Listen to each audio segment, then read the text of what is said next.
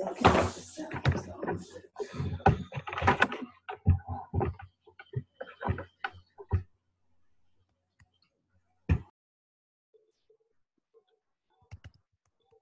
we're gonna mute you for a minute.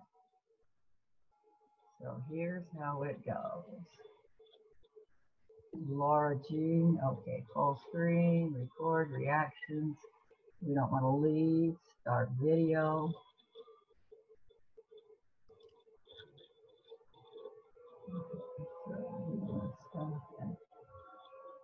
Oh, there you are, see? There you are. Can you see you mm-hmm. right here? Okay. Where's you? I'm here, And she's over there. and Max is right there. So you can, guys. so you can get, you can get cozier.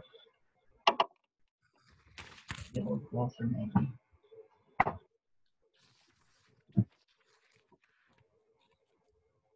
Bit closely. Yep. Mm-hmm. Hello, everyone. Greetings, wherever you are, and welcome to the first ever Belnap Family Organization uh, virtual reunion. My name is Kirk Belnap, and I am the currently serving president of the Belnap Family Organization. Um, I am. Uh, we're very, very excited to to have you with us today, and and um, uh, yes, just just just lovely. So, like as of our as of right now, we have with us, um, as of right now, we have with us, let's see, saw the, the count, and now I've lost the count. Oh, 69, terrific. Wherever you might be, very excited to have you with us. I am, uh,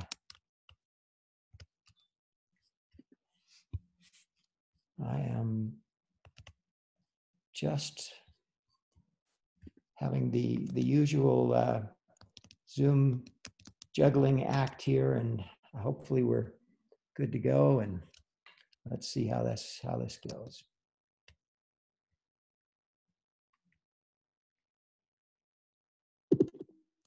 Okay.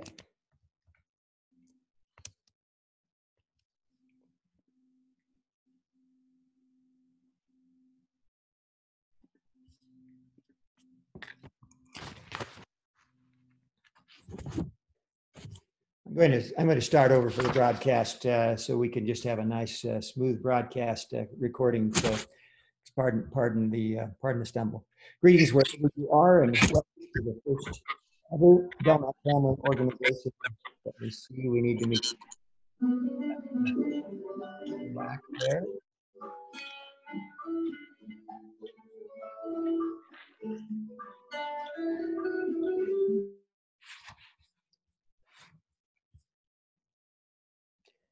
Can you hear me? Give me a, give me a thumbs up here. We're good to go. All right. Greetings wherever you are and welcome to the first ever Belnap Family Organization virtual reunion. My name is Kirk Belnap and I am the current, ser- currently serving president of the Belnap Family Organization. nonprofit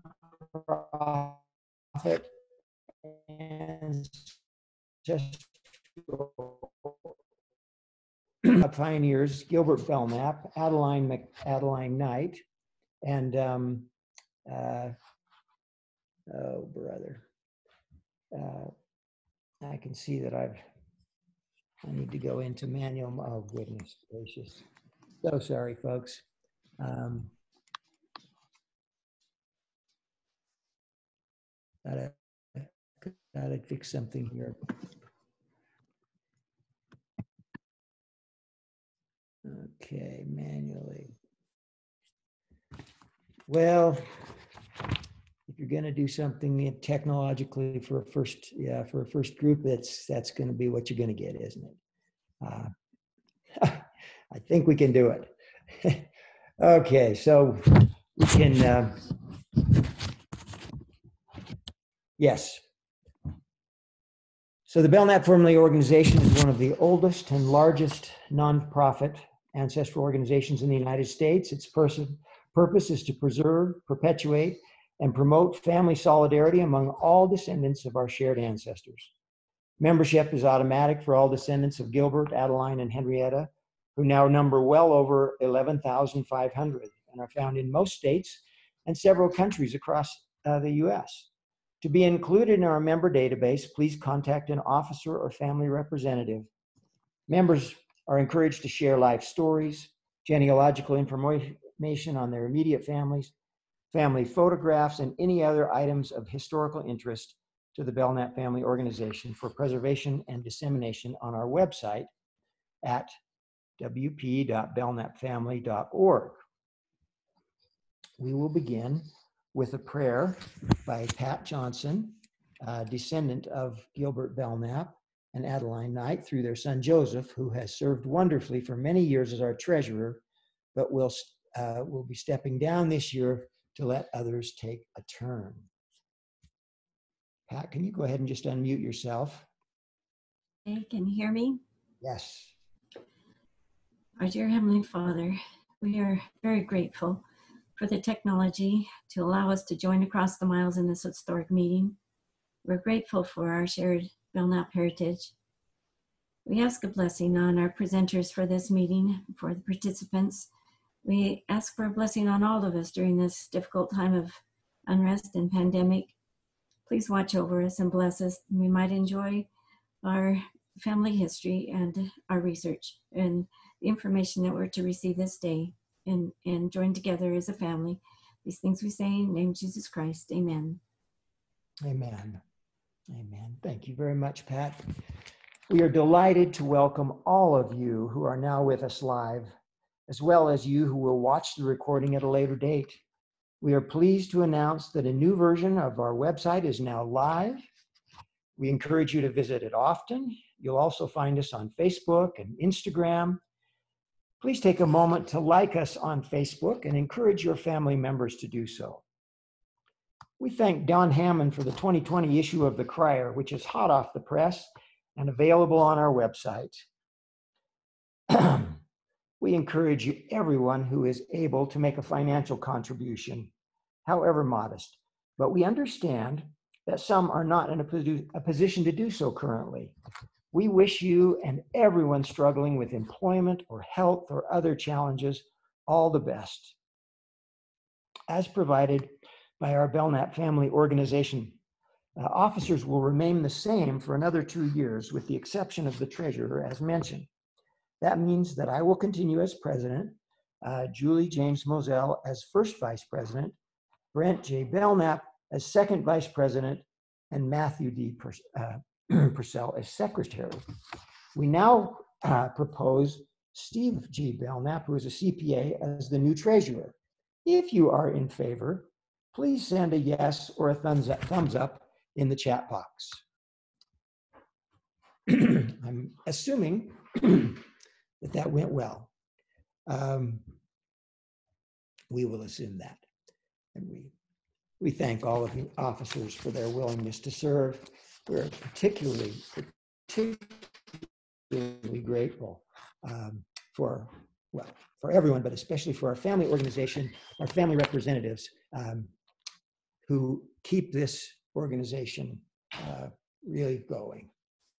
And uh, we encourage you to contact your family representative. You can find them on the website. We cannot um, we cannot reasonably replicate our traditional roll call by family, branch, and generations activity online uh, at this do, do this online at the reunion, this reunion. But we invite each of you to report on yourself and those watching with you by by email. Here's the, the email. Um, and by the way, you can find this, the uh, uh, current statistical data uh, by, by branch and generation on the uh, on the on the uh, on the on the website under the tab interesting info uh, family statistics and so you could also do you could also report if you're um, if you if, if you would prefer not to use uh, email for your report for your reporting you could also do this by registering under the get involved tab then sign up register tab if possible in your email or on or there please indicate your family branch and include a contact phone number. And please let us know if we may include you in our family database and email you future reunion announcements. We take your privacy very seriously and want you to know that no personal data is stored on the website. To encourage others not now with us to watch the reunion sooner than later, we're going to have a little friendly competition between the branches of the family. Encourage your, please encourage your immediate and extended family uh, relations to watch and report in the next 30 days. We'll, we'll level the playing field by estimating the size of each branch of the family and then measuring percent response from each branch. We will email the results to respondents with an update on uh, family demogra- demographics. I've uh, finally, let me say that we welcome volunteers of all ages and skills. We will uh, now watch a short video, part two, of the uh, life of Gilbert Belnap, prepared by Ashley Belnap, who is a descendant of Gilbert Belnap and Henrietta McBride through their son Oliver. We deeply appreciate her dedicated efforts and look forward to similar presentations on Adeline, Adeline Knight and Henrietta McBride in coming reunions. Next year, we celebrate the 200th birthday of both Gilbert and Henrietta, and we welcome suggestions as to how to do so and encourage volunteers with various skills, technical or other, those young and young at heart, to volunteer to help with various aspects of the Belnap family or orientation, organization. We'll now hear a word of introduction from Ashley Belnap about the video. And Ashley, you're welcome to go um, uh, on live if you would like. Um, Okay, I'm I'm on. Can you hear me? yes, Okay. Well, today, uh, like Kirk said, we're going to see part two of the three-part series of Gilbert. 176 years ago today, Gilbert actually arrived in Nauvoo. He was penniless. He was a convert of two years, but he was ready to serve the Church of Jesus Christ of Latter-day Saints and the Prophet Joseph. Uh, the video really focuses on 1843 to 1846, so really focusing on his conversion years. So please enjoy this story, and I'm grateful to the whole Belnap organization. Uh, it was such a wonderful experience to spend uh, quite a few hours engaged in these sources and this work. So enjoy. thank you, Ashley. Can I can I have a question? I'm new at this. I apologize. Can uh, when the three parts are completed, can we maybe buy the DVD that has the whole story because it's very well done and very interesting. I would love to add to my library. As far as sharing it, uh, it will be on the website, so you can you can access it by YouTube or or the link, and you'll find the the the link on the on the website. Um, so that's probably as easy as anything. Uh, I hope. If not, you could send us a message about, and we could work on on seeing it, finding out if we can figure out another way to share it with you. Okay. Okay. So let's go ahead to our video.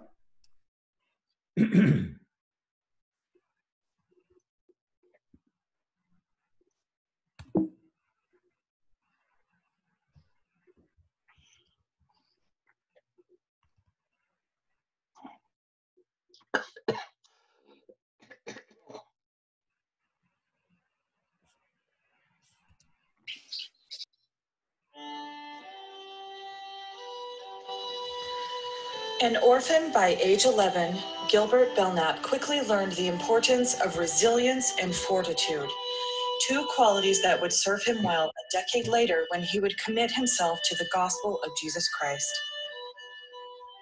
A few years after his parents' death, Gilbert served as first sergeant in the American Light Horse Rangers from 1837 to 1839. After surviving his time in battle and as a prisoner of war, Gilbert made his way south and ended up in Ohio in 1840. He started working for Abner Cleveland in the town of New Bedford. After listening to a long conversation between Mr. Cleveland and another about the town of Kirtland and the beauty and construction of the Mormon temple, it prompted my curiosity, and of a roving disposition, I longed to form an acquaintance with that people and to behold their temple of worship. The Church of Jesus Christ of Latter day Saints had established itself in Kirtland in 1831 and constructed a beautiful temple which had attracted curious people from many miles around.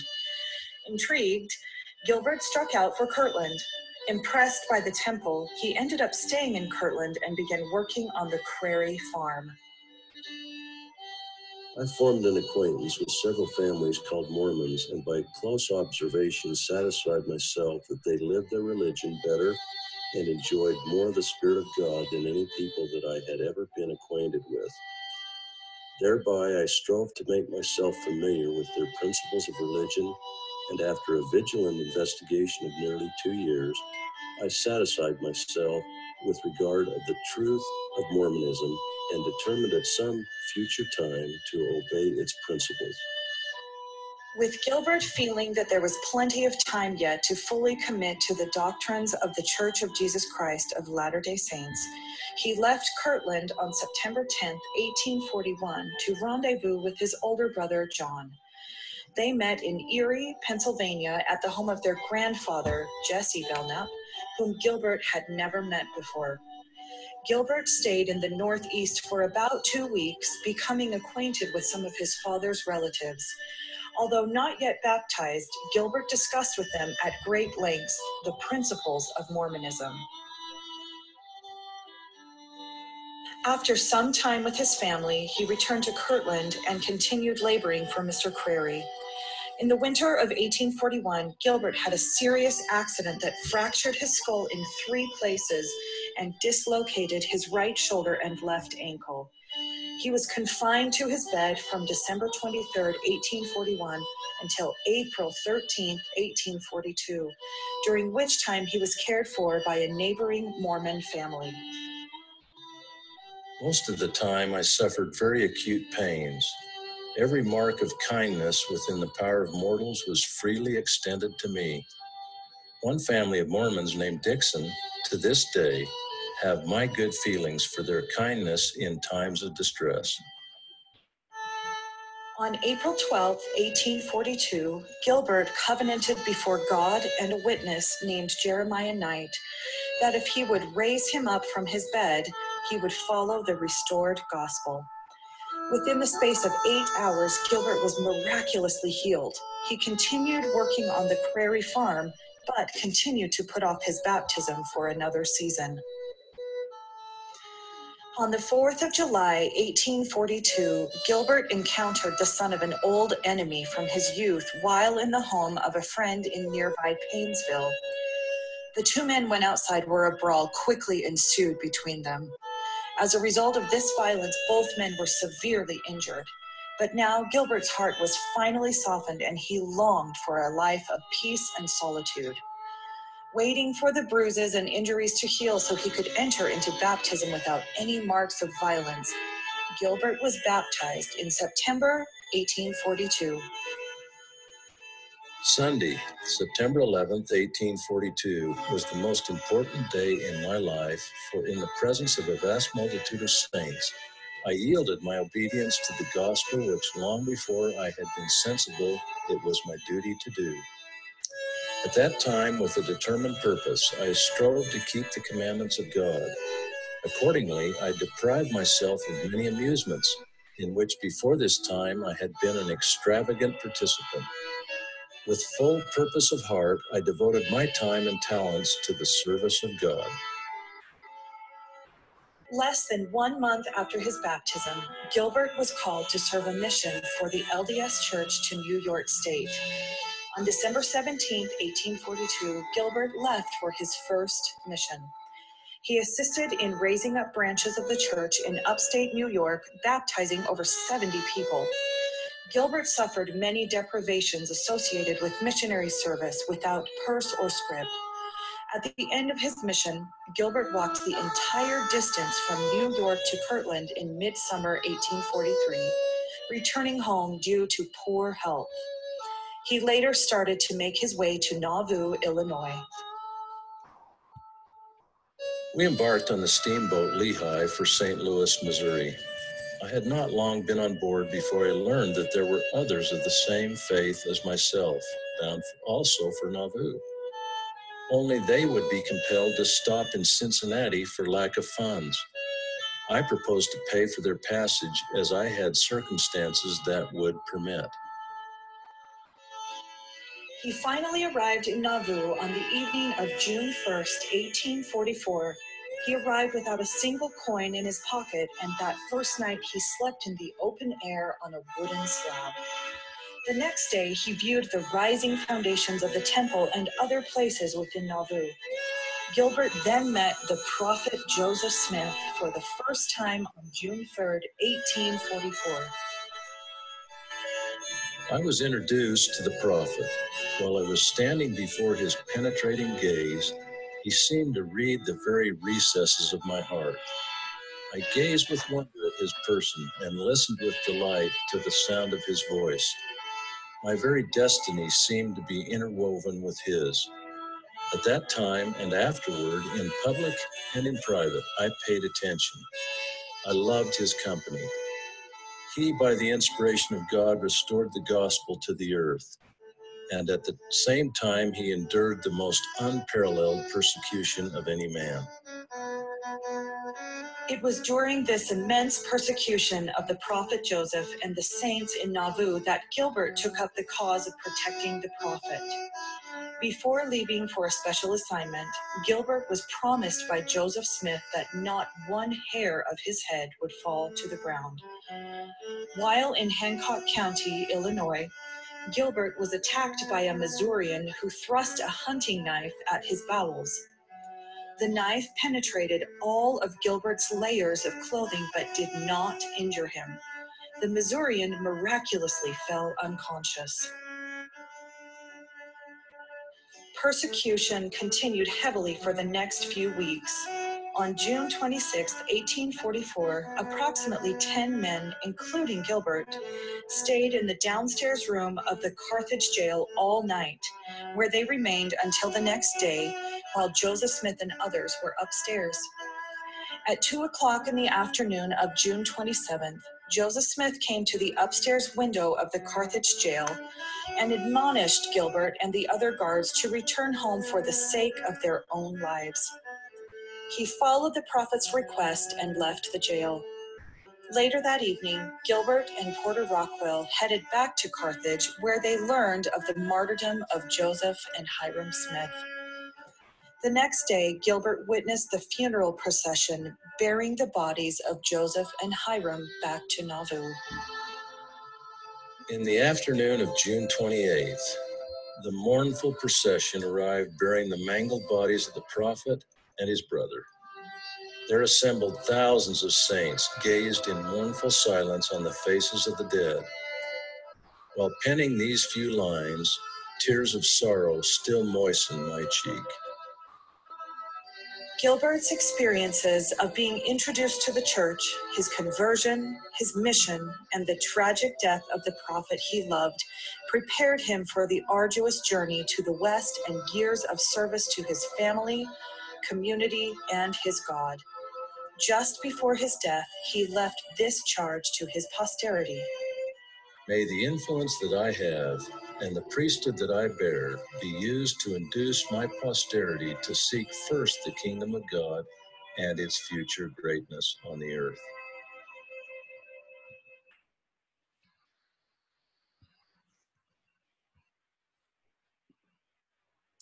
Thank you, Ashley. We are deeply, deeply grateful to you for this, um, this tremendous, tremendous contribution.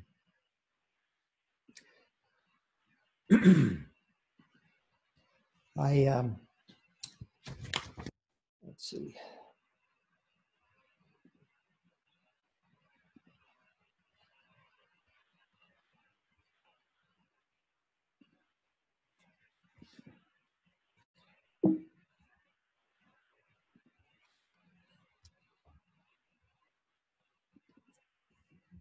We are pleased to welcome Dr. Ugo Perego from Rome.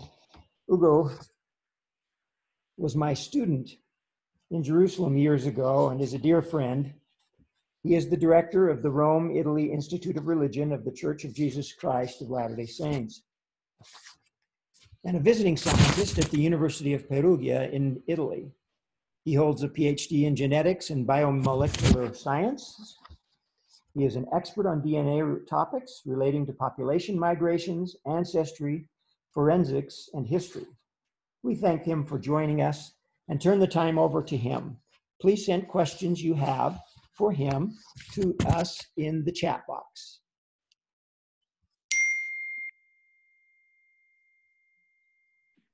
Okay, I guess it's my time now. It's your time. All right, I am pleased to be here, and uh, we're going to talk about DNA today. And in my genetics, you also get a thick Italian accent, so hopefully you will uh, uh, be able to understand what I'm going to share with you. I'm going to use some slide, and that, that should make things a little easier. Here we are. So I trust you can see the slides I'm sharing with you right now. Kirk, can you give me a thumbs up? Yes. You do it. Can you hear me okay too? Yeah. All right. I'm actually not in Rome right now. Uh, a friend of mine has invited me to stay with uh, with him and uh, invited my family. So I'm actually in Sicily, uh, down south in a beautiful country, uh, best food in the world. So if you ever had a chance to come to Sicily uh, or to Italy, Sicily is the place you want to go for sure.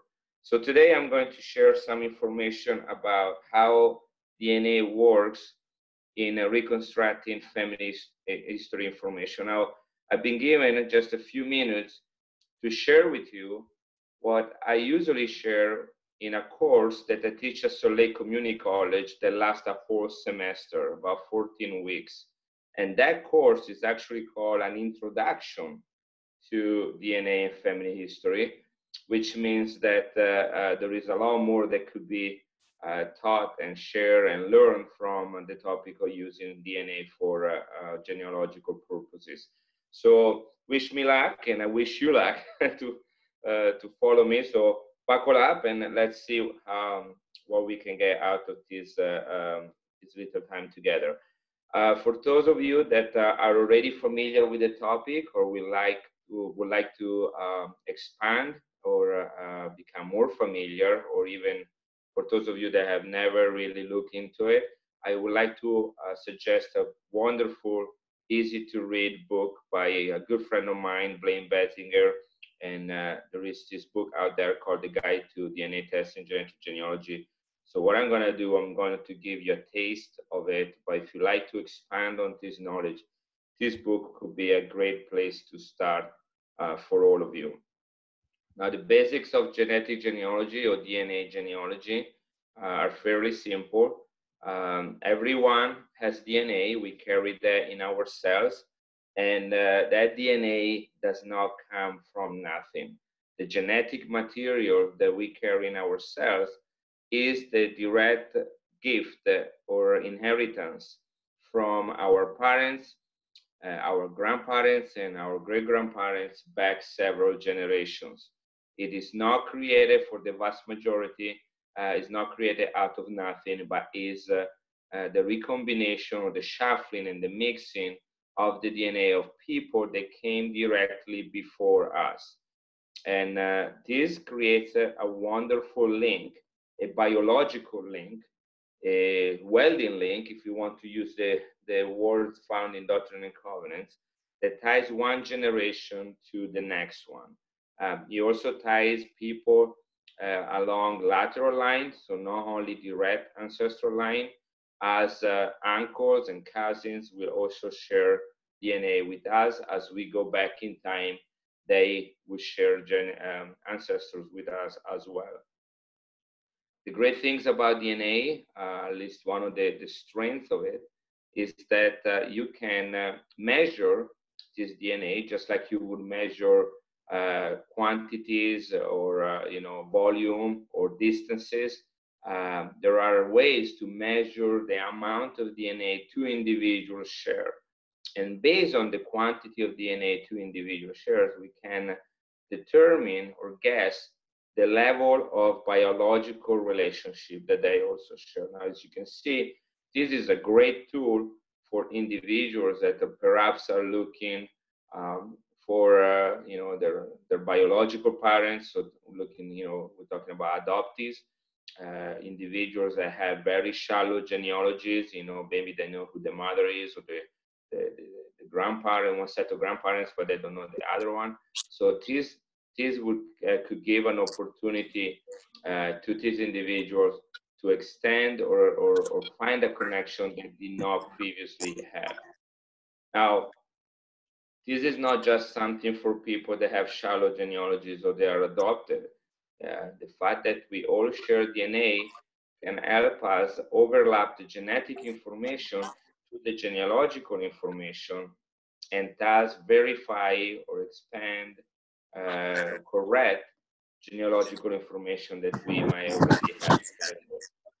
Um, there are basically four types of uh, DNA used for genetic genealogy. We are going to briefly introduce you to three of them. The fourth one is not quite practical and not very used, um, but it's available and for certain specific cases can come handy as well. And these four types of DNA are the Y chromosome, the mitochondrial DNA, and the autosomal DNA. We're gonna look at this information again as we go through this presentation. Again, I'd like for you to understand that DNA does not replace genealogy. Uh, someone just not give uh, their DNA, their saliva sample to a company, and in return they get a full pedigree chart. However, uh, we're kind of moving into that direction. I'm going to show you toward the end of this presentation using um, your president, Kurt Belnap, as an example how certain tools have been developed where actually a simple DNA test can get you quite on your way with your genealogy if you are at the beginning of your genealogical research. There are several companies that provide DNA testing nowadays. Uh, we don't have time to talk about each one of them.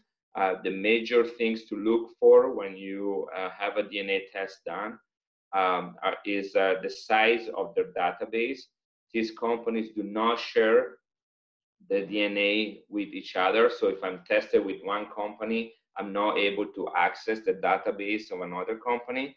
Uh, just in the same way that if you have your family history information in a, uh, family search, you will not be able to look at it into ancestry or MyHeritage unless you create multiple accounts and you link them together. Now there are ways to do the same with uh, with DNA, link them, but um, when you are tested with one company, usually the first things you can do is just look for uh, matches within their customer base database. So whatever um, whoever is being tested within a company, those are the people you can compare your DNA with.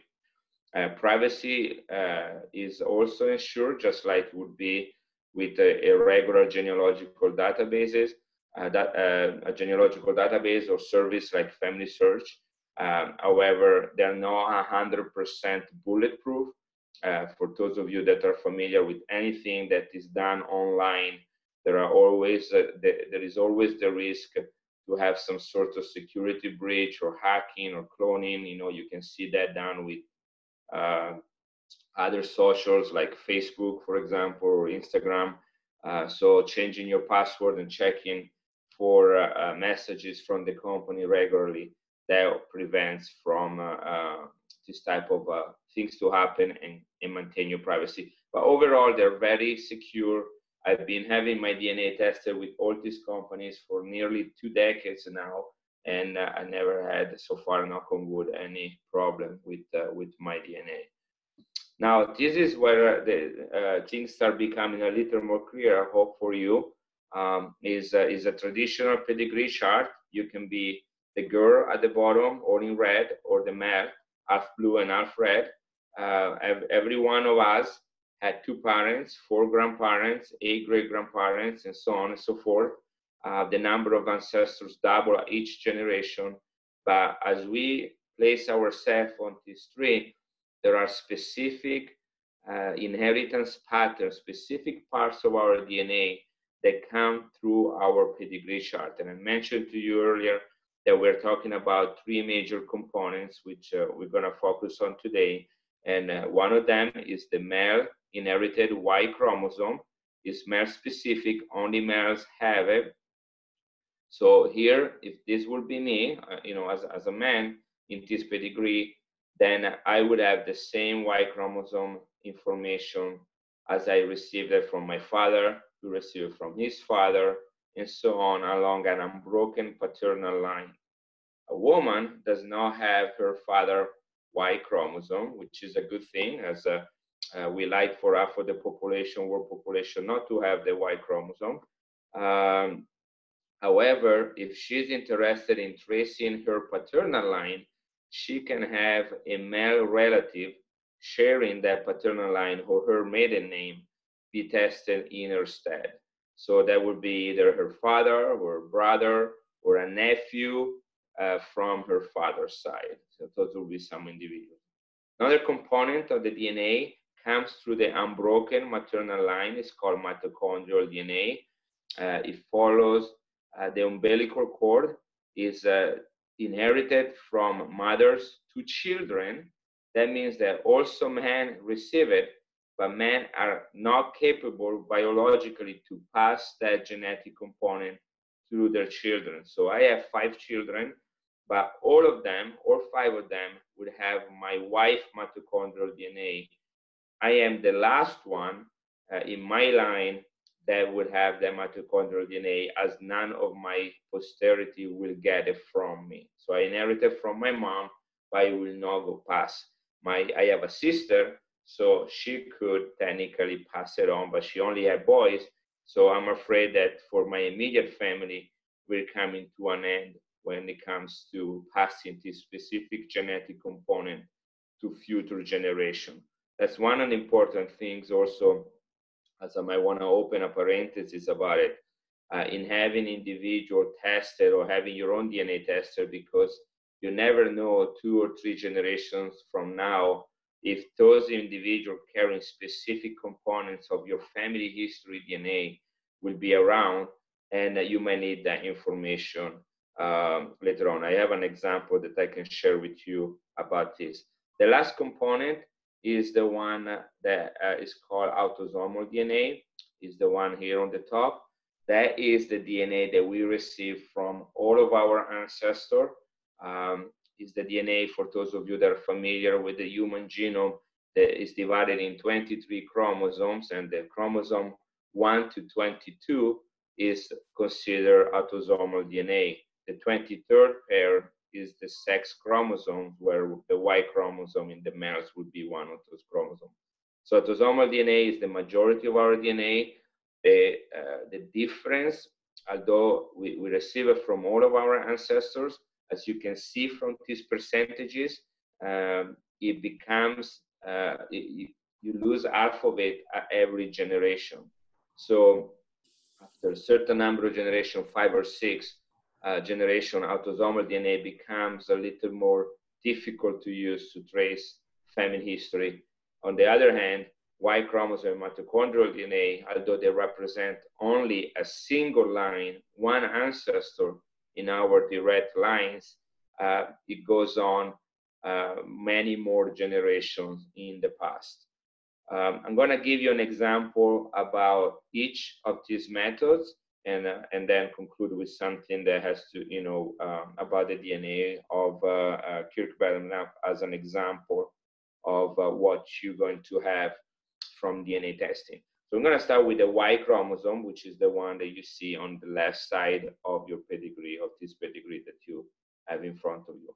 So the Y chromosome, uh, and don't worry too much about all the information that is on this slide, but the the the two most important pieces of information that you need to know about the Y chromosome is number one, it comes from a direct father to son line.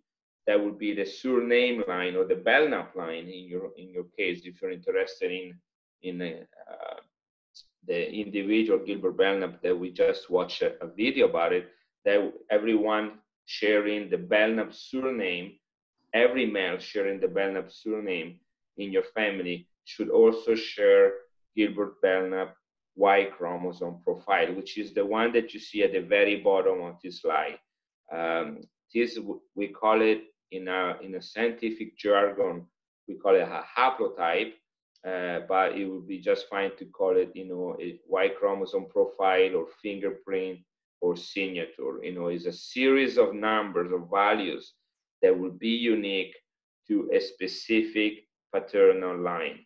So two individuals sharing uh, in their fairly recent past, and we're talking about even 10, 15, 20 generation as a recent past, uh, sharing a common direct paternal ancestor, father to son, and perhaps sharing as the same or similar surname, they could also check if they share the same or, or almost all of them of these values, if they would be the same or very similar, and that would prove that they share a common paternal ancestor. As in the example I'm about to give you, uh, we have uh, two individuals, uh, H2 and H3, who are the grandsons of an individual named Karo Happonen. This is a, a true case I worked with uh, this family a number of years ago from Finland. And uh, as you can see, there is a dotted line above Karo Happonen, which means that H2 and H3 knew their paternal line only back to this individual, Karo. But he was an illegitimate child. Uh, he was a not, nothing was known about his father, and so H2 and H3 and uh, were tested for their Y chromosome, and uh, eventually through a number of investigation, genealogical investigation, there was the suspect, uh, there was the, the possibility that uh, H2 and H3 could share a paternal line with individual uh, labeled here as H1, who is a descendant from a family whose last name is Hellman, which sounds a little bit like Helaman in our Book of Mormon. And, um, and Hellman, different surname, different story. But what we had is a paternal direct descendant that was willing to share his Y chromosome. So what I had now was a test, a DNA test for H1, H2, and H3 to see if these three lines were indeed um, they, they, they, share the same paternal line, all of them.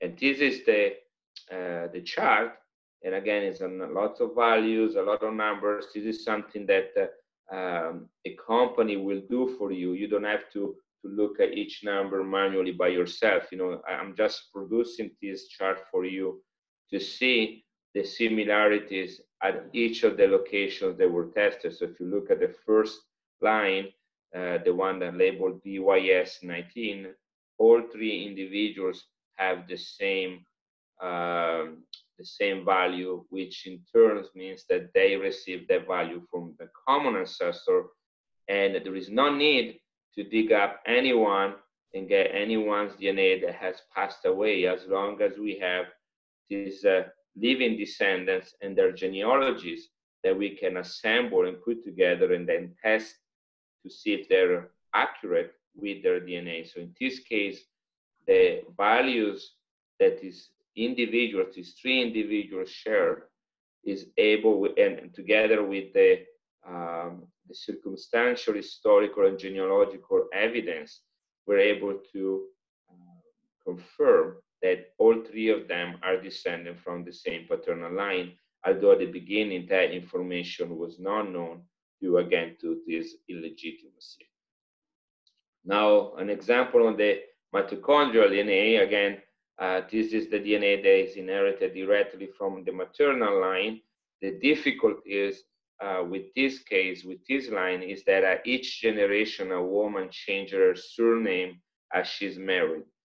And uh, therefore, you cannot use mitochondrial DNA as a way to compare uh, the DNA of two individuals sharing the same last name as you can do with the Y chromosome. So it takes a little bit more investigation to do that um, to use that tool in genealogy. Uh, again, this is what it will look like if you have it uh, done. You can, uh, every time you have your DNA test with a company, they actually allow you to download the uh, raw data, so the actual set of values. But as you can see, it is not something that anybody will will look at and play with it manually. It's not like a, you know a crossword puzzle. You know, um, most of this work is done behind the scenes, and what you receive from the company is a number of individuals that share the mitochondrial, the Y chromosome, or the autosomal DNA with you without having to deal directly with those uh, uh, with these values that could be quite confusing and overwhelming if you're not familiar with them. What I want you to show is that once your mitochondrial DNA is tested, this is what it will look like um, as it is produced in a lab. And uh, different segments of these uh, values have different meaning and can be used in a different way. Uh, you might have been familiar um, a few years ago with the case of King Richard III. Um, the, the body of this king, people did not know where he was buried. And uh, eventually has a, a parking lot was uh, redone and, uh, and they did some excavation in this area. They discovered this skeleton and the morphological, the anatomy of this skeleton showed signs that uh, uh, historically match the, the body of King Richard III, the wounds from his death, as they were recorded, and other physiological, um, other physical characteristics. Um, this is a, an individual, Richard III, that lived over 500 years ago. And uh, there are individuals today that are the share, they're not direct descendants from him because he being a male could not pass the mitochondrial DNA, but he had a sister. And there are direct mother to children, mother to daughter lines surviving to this day. So we have individuals alive today. One of them is the guy that is being swabbed in this picture. Um, Michael is his name. Michael Ibsen is one of those two guys uh, highlighted in red in the, in the pedigree chart and he is uh, third, uh, 14, uh, nearly 16 generations removed from King Richard. And um, another individual was uh, also identified, Wendy. And so they, these people are separated by, you can see 13 generation, 15 generation to the most common maternal ancestors, and then few more back to King Richard. All of them sharing the same mitochondrial DNA sequence which uh, is being labeled J1C2C, which is not something you need to remember. But what we have here is uh, a pedigree information that was available historically, a skeleton that was uh, identified and, and uh, found in a parking lot, and together with the historical and the anatomical information, now DNA is also providing an additional evidence that, that this individual um, could have been uh, very likely Richard III and, and be provided a proper burial um, to, to, to, to this day. Now, I work on a case that uh, some of you may be familiar with, uh, which has to do with the Mountain Meadow Massacre, uh, perhaps the darkest hour in uh, uh, Mormon history. Uh, September 11, 1857 is the date where the massacre took place down south in Utah in an area called Mountain Meadows um, near St. George and Cedar City. And um, there have been many books written uh, on this subject. If you're interested to study more about this event, um, there is a gospel essay topics written on LDS.org or Church of Jesus Christ.org, as it is called today. Or also there is uh, there is a um, wonderful book by Richard Turley uh, and other two historians that uh, that you can read. But um, the case study here that the reason why I was approached by a church historian was that uh, in the massacre, uh, it appeared that uh, a number of children were spared and uh, given for adoption to local families. Eventually, 17 was invited to a volleyball party last night. Oh, uh-uh. Yeah, she got invited to a tea party. Yeah. And Holly got invited to Here, Chris, you might need to mute somebody. It's unnecessary. and uh, so 17, 17 children were uh, eventually identified, uh, but they thought that there was an 18 child that uh, was missing. This 18 child eventually was identified as a Priscilla, who was uh, um, the child associated with Philip Klingensmith, who was a bishop involved with the Mountain Meadows.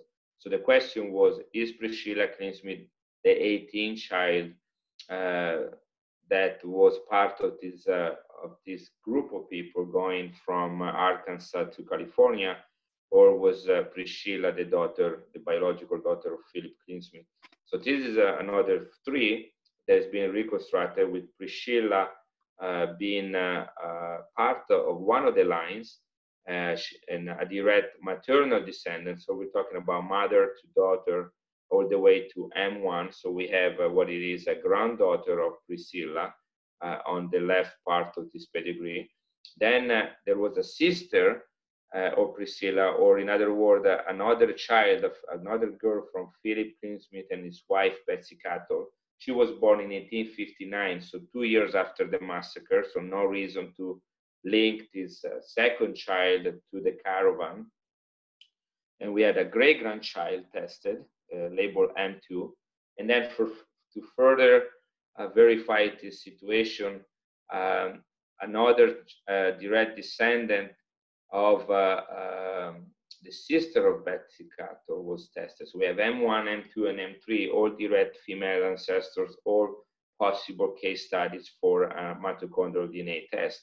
So what we have is a chart here with those same values. This is done manually by myself. And you can see M1 and M2 and M3 all sharing the same mitochondrial line, which in other words would uh, place Priscilla Klingensmith as a biological child of Bishop Klingensmith and not as one of the child surviving the massacre and uh, being given for adoption. Um, later on, historical accounts that were closer in time to the massacre has demonstrated that perhaps the children were 17 and not 18 as other sources have uh, uh, recorded. So what does it what does this uh, mean then uh, from a, a, family history point of view? So this is my tree is me right in the middle. I carry the y chromosome on my paternal line and i carry the mitochondrial dna for my maternal line. So i'm able to use this information to study and extend these two lines. However as i go around and ask dna samples to other members of my family not sharing Y chromosome mitochondrial DNA with me, I'm able to fill other lines in my tree. For example, uh, I went to my maternal uncle, that would be my mother's brother, and asked for his Y chromosome, a DNA sample to test his Y chromosome, which I was then able to trace my maternal grandfather Y chromosome line thanks to another member of my family. So it is not my DNA sample, it's somebody else's DNA sample, but the tree is mine. So I can use that information to fill another line, which will be this, the paternal line of my mother. I did the same thing by having the DNA of my grandfather and of my father, and then uh, being able to both to first confirm and verify my my paternal line, but also to add mitochondrial DNA for their respective line, which will not be something that I would have. So you see, although you do not carry all the DNA for all your family members, you can ask other family members to be tested and borrow that information to place on your own tree. So the tree is the same, just you don't have all the DNA that you um, to represent all of your ancestors. So the last example, and then I'm going to close, uh, is uh, uh, the, of autosomal DNA. Uh, autosomal DNA has the advantage to represent multiple lines of our family tree, but has the disadvantage of uh, uh being uh, uh, losing half of it at each generation, so becoming quite diluted after five or six generations. And um, this is a simplified chart. You find many of these on the internet, where you start with yourself being the self, and then you can see in, within your family, both the direct line or the lateral lines, uh, how much of your autosomal DNA you would share with these people. You can see how quickly that amount become uh, a small amount. So I have, you know, 50% with my brother and sister, 50% with my, with my parents, 50% with my children. But then if I just go to, over to my first cousin, okay, my first cousin, it already drops to 12.5%. Second cousin, 3.1%. Third cousin, 0.78, almost 0.8%. And um, seems like these are very small number, almost uh, insignificant. But remember, we're starting with a lot of DNA. We're starting with over 3 billion pieces of DNA. So even 0.8% of 3 billion is a lot of DNA. Now, not all 3 billion pieces are tested, of course. Um, they, they test a, a, significant amount of those uh, uh, of the autosomal DNA. But what I want to say is that even a small percentage can produce quite important information in your family tree uh, within, again, five or six generations. Um, all autosomal DNA is inherited in equal amounts. I have 50% of my mom and 50% of my dad autosomal DNA. But as we move back to my grandparents' generation, we can have quite a bit of uh, uh, discrepancies or differences between grandchildren. So this is a, an hypothetical chart. Uh, there are three cases, three pie charts for three brothers and uh, and uh, their grandparents, you know. And so if these are all brothers, right? The same mom and same dad, and yet one grandson might have more of his paternal grandfather, PGF, paternal grandfather, the purple uh, slice, uh, of uh, grandson 2, which might have inherited less DNA, or grandson 3 might have even more than grandson 1. That's because it's a probability. There is not a machinery in place that exactly divide the DNA in pieces and, and distribute that among descendants in the same amount. We can have technically, although it's never happened, but you can have technically as much as 50% of DNA of one of your grandparents and as little as 0%.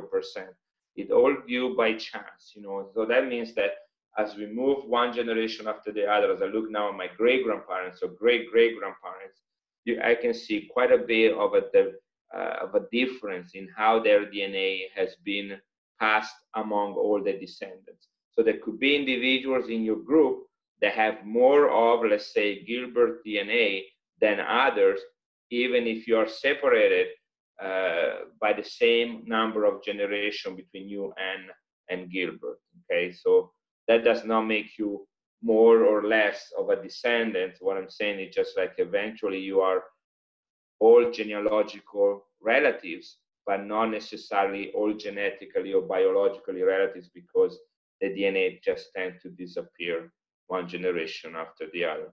Using these databases that are available through these companies, you know, uh, for example, you can find descendants that uh, you did not know about.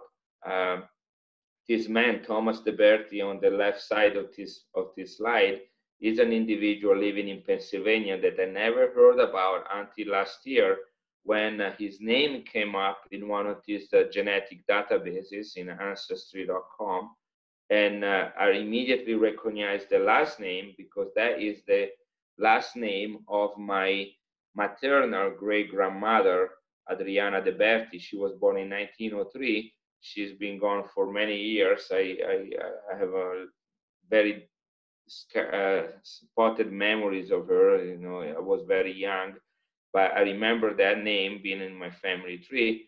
And uh, my grandmother is still alive. She's 94. And I asked her, Have you ever heard of this the Berti line in America, in Pennsylvania? And she's like, I don't know anything about it. So there, there is a line here that, uh, based on the amount of DNA and based on the information that I have and they have, um, we were able to, at the moment, propose this possible pedigree chart with a couple of unknown individuals that need to be identified that will be the missing link in, in our tree. The surname is correct.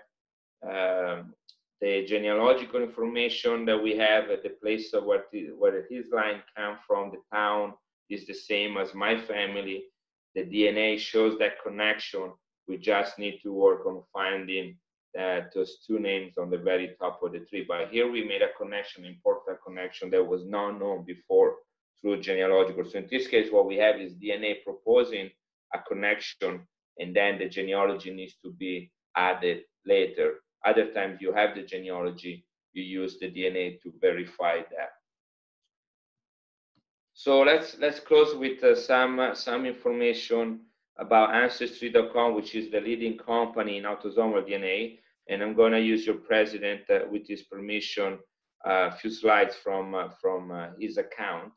Um, what you, what Ancestry.com gives you as a form of results for the product you buy from them is an ethnicity estimate provides some DNA matches, and then there is this tool called ThruLines. remember at the beginning, I told you your genetic testing does not give you your genealogy, but is a tool in addition to your genealogical research. This ThruLines tool is actually quickly moving in the direction where your DNA sample is actually giving you some genealogical information right at your fingertips without much work to be done on your end. Then you have to do some work to verify that information. So I'm going to look at each of these three very quickly. This is again all information from Kirk Belnap. Uh, I'm not going to reveal anything about him that will put uh, him in a, in a in a embarrassing situation uh, in the eyes of all the people in the in, in the organization. So you can still keep him as a president for another two years. But um, so based on his ancestry, which is not only Belnap, he has a number of ancestors that are unique to him and not shared with the rest of the family organization. There is a breakdown of where this DNA comes from. The way that uh, Ancestry and other company come out with this ethnicity report, which are very fancy and colorful and very attractive, um, is that they have some reference databases that have DNA from different group of people around the world and then they take the DNA of an individual, in this case, the, the DNA of Kirk Belnap, Dr. Belnap, and uh, they compare his DNA, they, they break it down with all the populations that they have as a reference, uh, in, as a standard inside their database. These, uh, these ethnicity estimates are usually the reason why people buy their DNA test uh, for family history, but should not be the main reason, the, the principal reason, because they are they have to be taken with a grain of salt. Human population, uh, our species, the, the the Homo sapiens, you know, the, the humans, we are a very homogeneous population. You can't uh, really divide our ethnicity using political or geographical boundaries. Uh, those boundaries have changed through history. Uh, we have uh, uh, mixed with all different populations, and and therefore at times these ethnicity estimates cannot be as accurate as we wish them to be. But what uh, the, the strength, there is some strength and some accuracy to it. I'm just saying that they're not the most accurate of the products you can get from a DNA test. What it comes really interesting though are the comparison between individuals that share an amount of DNA. What Ancestry does is first show, sharing uh, people that are considered your close family. So that would be people that are, are in your immediate family, uh, siblings, for example, or children, if they were also tested, um, or first cousins. You most likely already notice individuals unless you're adopted uh, I have cases of individuals that are adopted that they found their half brothers in their close families without knowing anything about them. And then you can contact these individuals through um, the portal of ancestry.com. Then you start listing everybody else uh, in an order. Is there is a, um, some sort of a hierarchical order from uh, people that share the most DNA with you. You can see here this amounts 1,706 centimorgan cm. So that's a, this is individual, which probably I would guess is a son of, uh, uh, of uh, Uh, Kirk Belnap, uh, based on the amount of DNA, and is probably a daughter. And then very quickly, uh, as the amount drops, you know, they're listed in that order. So the most DNA on the top, the less DNA on the bottom. And then you start having the second cousin and the third cousin and the fourth cousin. So a lot of people start popping up now that you don't know anything about. And, uh, and yet they're related to you and you can contact these individuals. And some of them have provided some genealogical information um, that you can see in this third column and click on it and look at the pedigrees. For example, here we have a second cousin, possibly a second cousin named Jason Smith. It could be a nephew, it could be, you know, uh, ancestry does not know exactly how you're related to the individual, but it knows you is related to you based on the DNA. Then you contact that person and work the, that information together.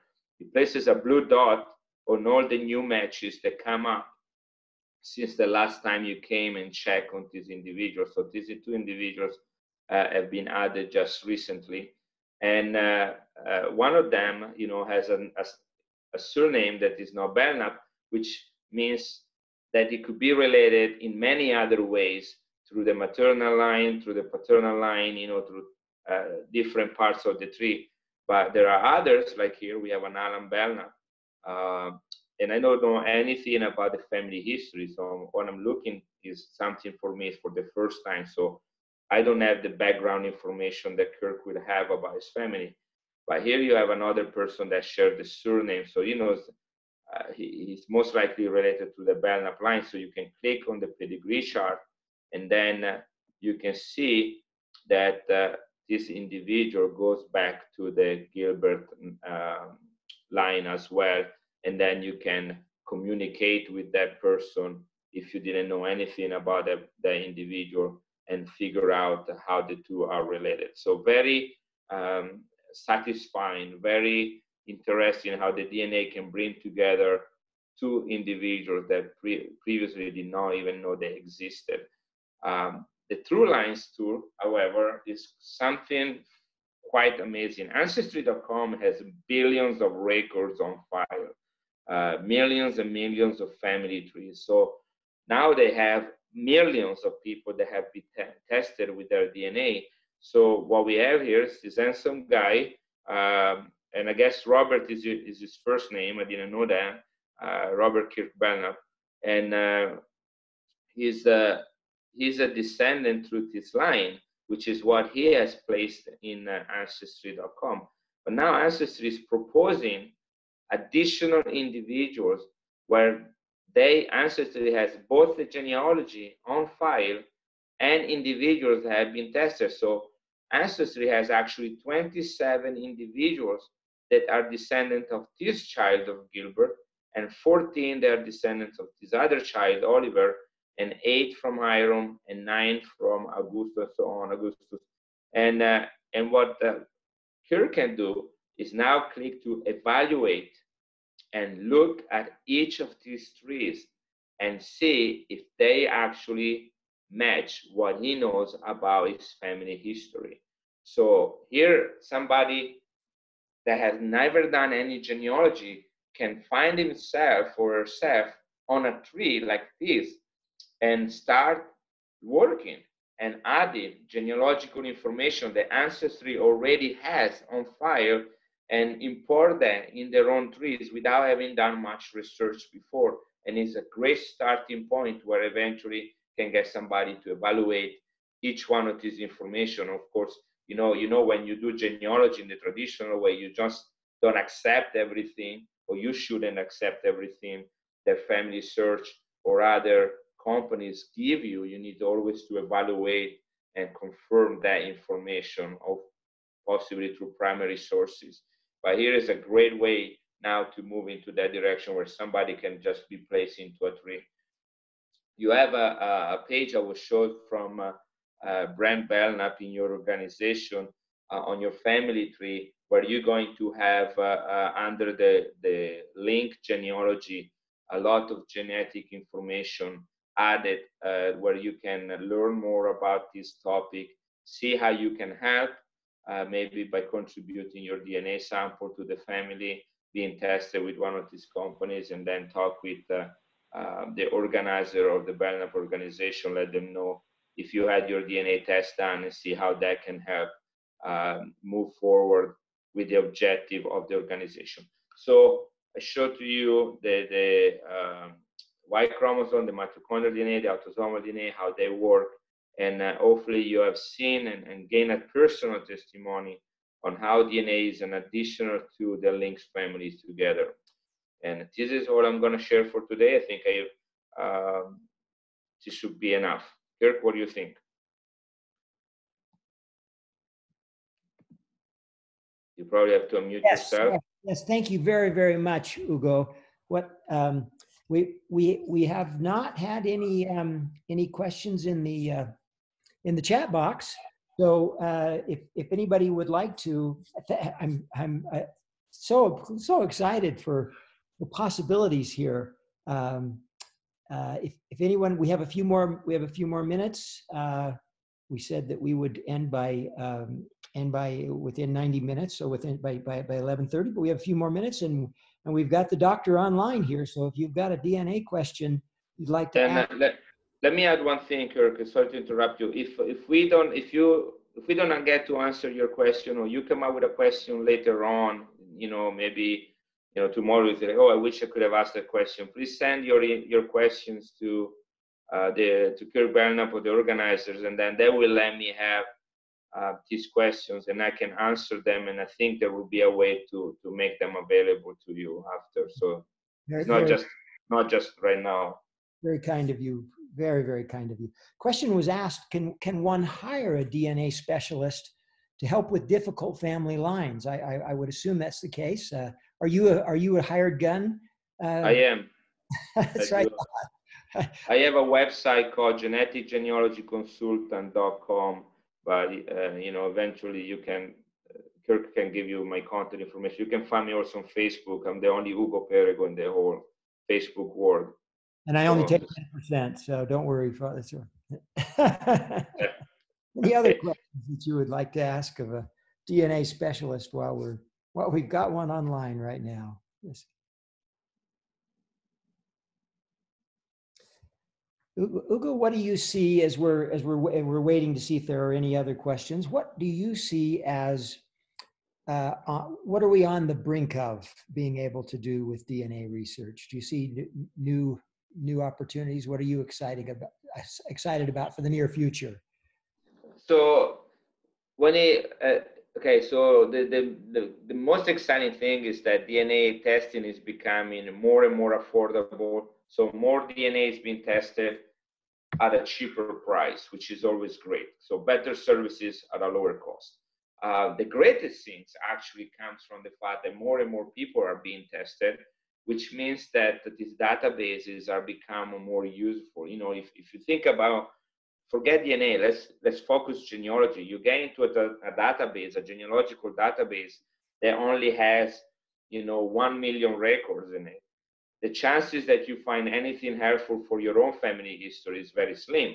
But if you have 10 million or 100 million records, then the chances increase that you can find something helpful. So what is what I mean is that there are more and more people nowadays that uh, are having their DNA tested, and so even someone from Italy like me is now getting some useful information. I've been having my DNA test for the last 20 years, and only in the last couple of years, I'm finally finding somebody that uh, I can uh, connect to. You know, so it's a matter of patience. You know, your DNA doesn't change. You have a test, it goes into a database, and then you receive notifications as a new individual are tested that might be of uh, um, some importance to you personally in your research. So that's that's what is becoming exciting. And new tools, the ThruLines that I showed at the end, that's something that's been available for the last 12 to 4, 24 months, you know. There are uh, bioinformatics and, uh, and uh, computer science guys that are, are cranking the data and finding better ways to combine the genealogies and the DNA. I know family search people have, uh, you know, in their Lehi building, you know, you probably drive uh, by that building several times. You know, you have is a building, family search building in Lehi, which looks like a little bit of a Google type of uh, of building, you know, like very high tech. And they have a whole department in there that are looking at this DNA thing for family history for the church, you know, for for Latter Day Saints, uh, in a in a very serious matter. You know, the last uh, uh, conference. I don't know how many of you have been able to go to RootsTech in Salt Lake City. Had over 27, le- I think 27 lectures on DNA and family history. You know, uh, they were not all the same topic. You know, so there is a lot, a lot coming out. Great, thank you. A lot related questions here. So we have a question: Are there different types of DNA tests? So, for example, uh, if if, if you did an Ancestry.com test, um, like I did, I don't have the Y chromosome uh, data, I believe. Could you tell us just a little bit more about this? And do you recommend submitting tests to multiple companies? Are there di- different advantages to different way th- people do things? So the budget is always an issue. So it all depends on how much somebody is willing to spend for this type of things. So Mhm. I the, the low hanging fruit or good starting point is with ancestry. I will start with ancestry.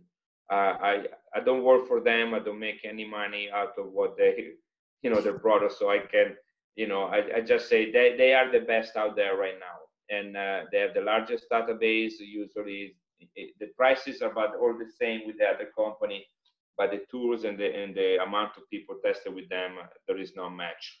But if I would have extra money, then I would go to Family Tree DNA, which is this other company, FTDNA, familytreedna.com.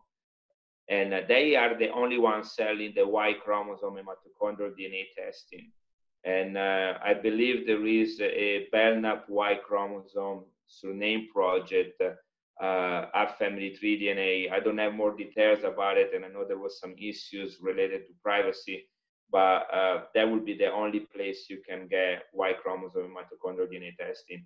And they run specials all the time. They run, you know, a Y chromosome special on Father's Day and a mitochondrial DNA special on Mother's Day and then Christmas and Black Friday. So uh, always look what their standard price is. And if you're not in a hurry, wait a couple months, you might be able to get uh, a special deal on that. So those will be the three places. If you are interested in health, uh, information in addition to the genealogical information since we also get you know our bad genes and our good genes from uh, our ancestors uh, 23andme is a company that provide a combination of genealogy and uh, uh, health information you can then download data uh, your dna from this company from ancestry or from 23andme and you can upload it for free in family tree DNA and in MyHeritage without paying. So you would have your your same DNA in more places and be more visible and looking at more more company. MyHeritage, for example, has more European individual tested. Um, Ancestry does not sell their kids to Italy. Here in Italy, I cannot buy that. The only way I can have Ancestry is that when I'm in the United States, I buy one of the kids and I have a shipper there and then send it back. But if I will order one in Rome, they will not send it to me. Uh, so that MyHeritage is a lot of Europeans. And you know that as an American, as a, as a citizen of the United States, your ancestors most likely come from many different places around the world, including Europe. So that would be a great place to make this connection, you know, through through MyHeritage. And you can up, download your data at Ancestry and upload it for free at MyHeritage if that's something too difficult for you, just contact me. We'll, uh, we'll uh, find a way to make it happen. Thank you. Thank you very much. Do we have any other qu- last minute questions here? Where I, I saw a question popping up about Israelites DNA, and a good place to go and read it. Something I I'm the author of the gospel essay, uh, the gospel topic essay on DNA in Book of Mormon. So go to LED, just Google it, Book of Mormon and DNA Studies on LDS.org. And uh, that should be a good place to start um, addressing that, that issue. Thank you. Thank you for addressing that. Yes. Well, it's it's been a it's been a pleasure. Uh, been a pleasure, Ugo. Um, and we hope that you'll uh, not get too sunburned there, and uh, and uh, uh, stay safe and enjoy the enjoy the seafood. Um, thank you, thank you, thank you so much for for uh, for all you've done here and and are doing, and we and we appreciate your open offer for uh, uh, entertaining questions and and uh, be careful what you offer, right? It's the uh, All right. I can always ignore emails. yes, right. All right. All Um, right. Thank you, Kirk. Thank you. Thank you. Thank you, everybody. Enjoy your virtual union.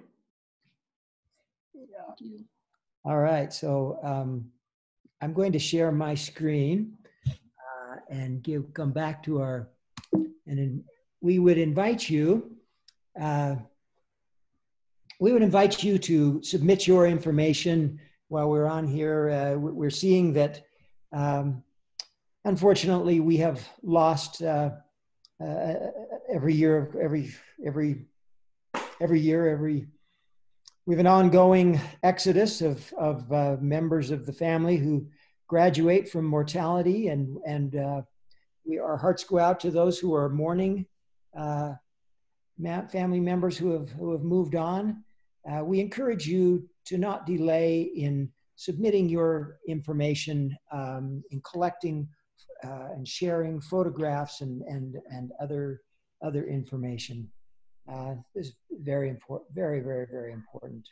Um, and it's just so easy to put it off. And then once, once your st- and and to and to write your own story and and save that for others. Um, let me also at this point uh, thank Ashley for the tremendous contribution.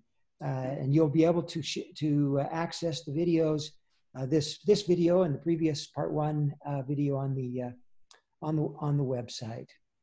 Um, encourage you to encourage you to stay in touch to, um, especially to to uh, uh, uh, uh, pass on these this information. We're so grateful to have all of you here with us today, and and uh, encourage you to pass on information to your to your family members and encourage them encourage them. Thank you to Don also for another great flyer, and and thank you family reps. We please encourage your family rep. We are, um, and again, please like us on Facebook and connect on Instagram and make a financial contribution to help keep the, the organization uh, going uh, strong if you're in a position to do so. We hope to see you in person in two years at our next reunion, hopefully in a post coronavirus world. And the, clo- the closing prayer the closing prayer will now be given by Lori uh, Belnap Pearson, who is my sister. Thank you. Our dear Father in heaven, we come before thee at the close of this family reunion in deep gratitude for the structure that thou hast established of families and the, the bonding that we have by sharing that family history and the DNA that that we all carry as descendants of Gilbert Belnap. We are so grateful for the information that we've received today, that we've been able to learn more about our history and our ancestors, as well as the the miracle of DNA and and how far it has come in terms of us understanding how it is passed and, and what it means to us in our lives and to our research. We are so grateful, Father, for all of the people who have spent so much time and energy in making this possible today. Please bless them for their efforts and those that service in this Belnap family organization. Help us each to spread the word and to reach out to one another and to feel those bonds of family that connect us throughout eternity. We say these things humbly, Father, in the name of thy beloved Son, Jesus Christ. Amen. Amen. Amen. Thank you, Lori. Goodbye, everybody. Thank you, Kirk. Thank you. It's Uh, great. Thank you so much. Thanks, everyone. Bye. Bye. Bye. Bye. Appreciate it. Jada. Bye. Thank you. Goodbye. Bye,